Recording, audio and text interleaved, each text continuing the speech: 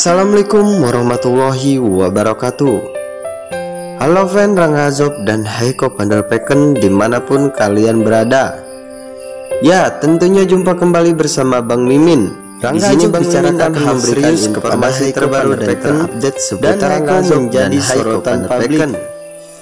Sebelum kita lanjut ke topik pembahasan yang baru bergabung ada baiknya tekan dulu tombol subscribe dan aktifkan juga lonceng notifikasinya supaya kalian tidak ketinggalan informasi terbaru dan terupdate dari channel ini. Dan tonton terus sampai akhir agar tidak ada kesalahpahaman di antara kita.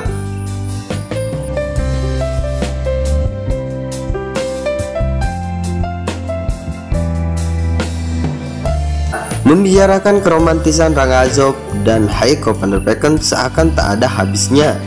Dua sejoli itu yang kerap disapa bucin itu sukses menyita perhatian publik karena kemesraan itu di lokasi syuting atau di dunia nyata. Seperti biasanya yang terlihat di lokasi syuting berikut Rangga Azob dan Haiko van der Pecken sedang membicarakan hal serius. Ya, tentunya keseriusan itu yang ditunggu-tunggu Haizoper.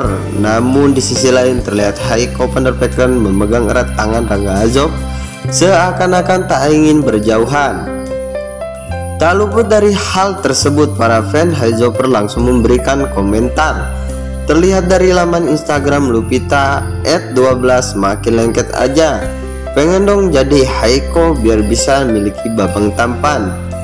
Tarisa underscore Jover Semoga Abang Azob dan Ate Haiko cepat ke pelaminan Dan banyak doa-doa baik untuk dua sejoli ini Banyaknya dukungan dari fan-fan Heizover dan pencinta sinetron Samudra Cinta Tak segan-segan Heizover fan berat Heiko Panderpeken dan Rangga Azob ini memberikan komentar dua sejoli ini agar segera meluncur ke pelaminan.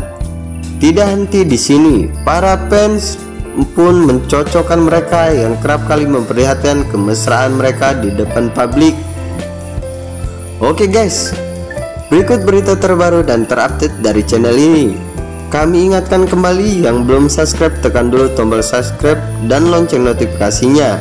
Jangan lupa like, komen, dan share sebanyak-banyaknya supaya kalian tidak ketinggalan informasi terbaru dan terupdate dari channel ini. Sekian wassalamualaikum warahmatullahi wabarakatuh.